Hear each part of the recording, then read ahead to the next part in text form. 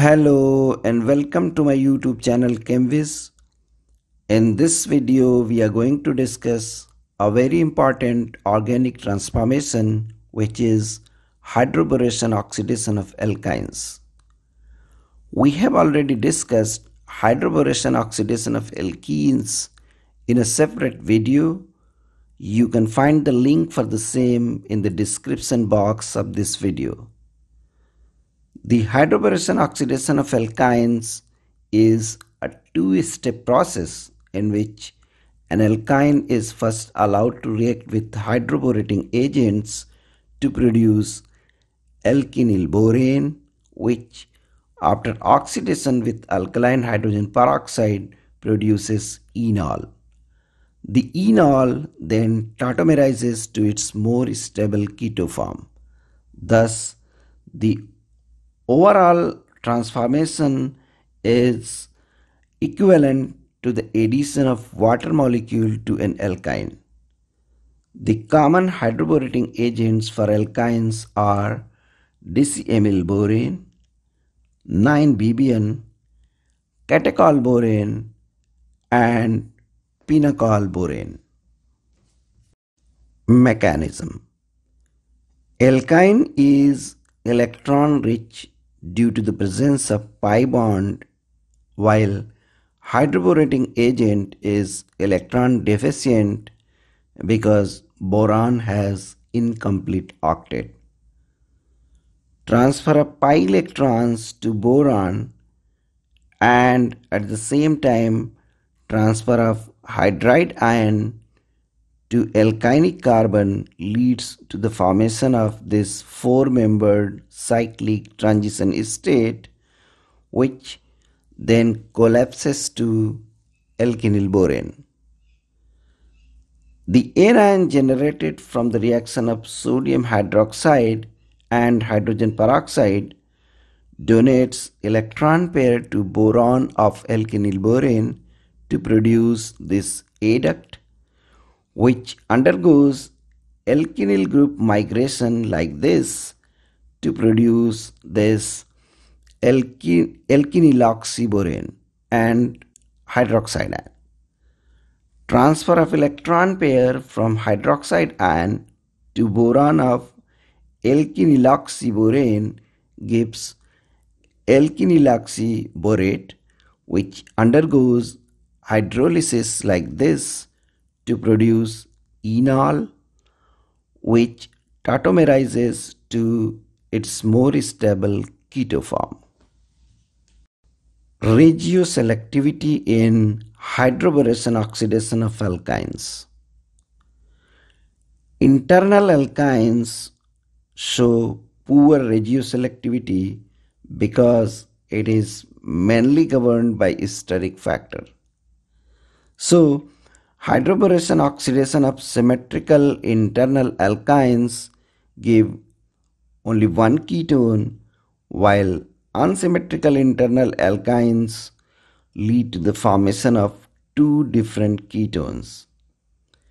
If we talk about terminal alkynes, they show good regioselectivity because it is governed both by electronic and steric factors.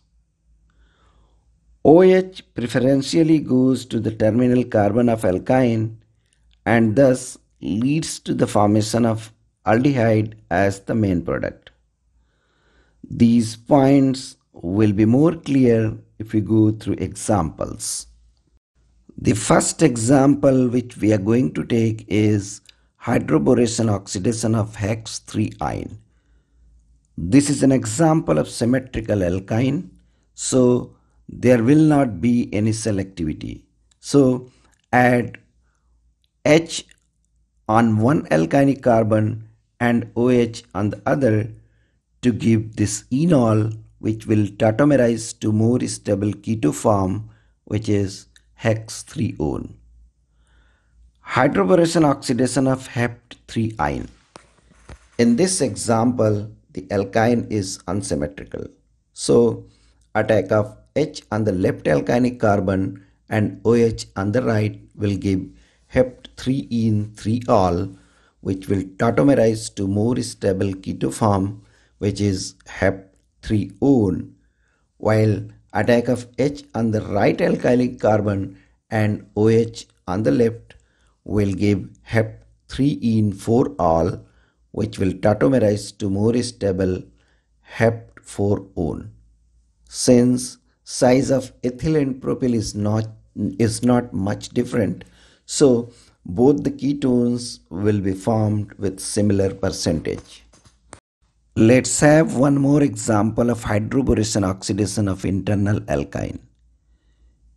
In this alkyne, there is big difference between the size of two alkyl groups attached to the alkynic carbons.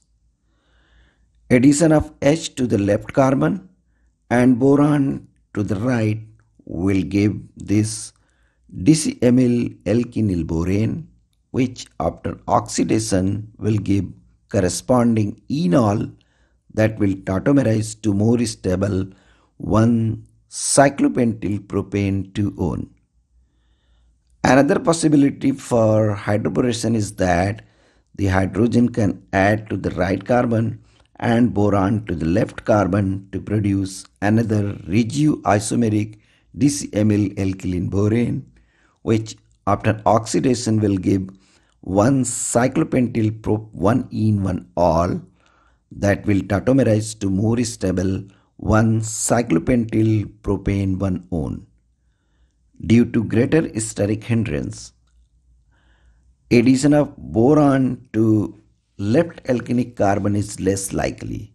Therefore, this hydroboration reaction gives 1 cyclopentyl propane 2 one as the major and 1 cyclopentenyl propane 1 one as the minor product. Now we will take the examples of hydroboration oxidation of terminal alkynes. Hydroboration oxidation of hex 1 yne. In this case, H selectively adds to internal alkynic carbon while OH to the terminal alkynic carbon to produce hex 1 en 1 ol which will tautomerize to more stable keto form that is hexanal. The next example is hydroboration oxidation of phenylacetylene.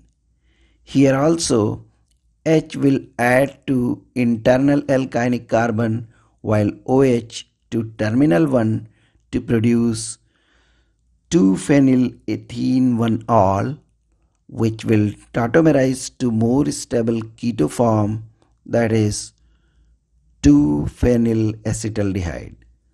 That's all in this video. Please subscribe my channel and press the bell icon if you like this video. Thank you very much for watching this video.